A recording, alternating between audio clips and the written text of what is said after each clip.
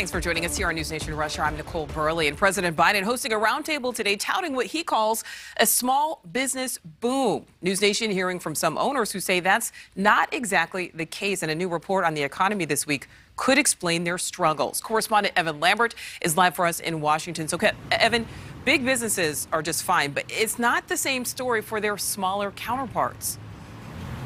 Nichole, corporate profits, they are skyrocketing. But according to this new study out this week, small businesses, they are struggling when it comes to inflation.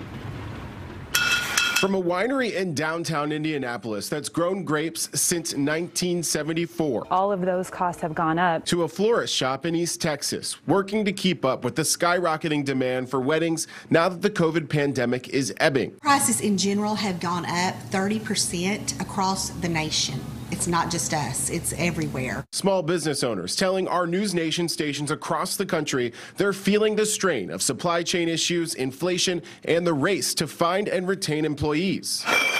At Easley Winery, they estimate prices of production have gone up 15 to 35 percent. The biggest jump bottles for their signature product. Since natural gas prices have gone up, the prices to fuel those furnaces to make the glass have gone up. Corporations have also blamed supply chain and worker shortage issues, though many still posted hefty profits last year. A new Goldman Sachs study shows small businesses are taking a big hit as inflation spikes. 91 percent of small business owners say larger economic trends are negatively impacting their business. On inflation specifically, which is the worst it's been in 40 years, 88% say inflationary pressures on their business have increased since January, which means higher prices are likely to pass down to the register. But the White House claiming there's been a small business boom under the administration's watch. President Biden touting job growth at an event Thursday and plans to help more Americans create and maintain small businesses. Today, thanks thanks to the economic strategy,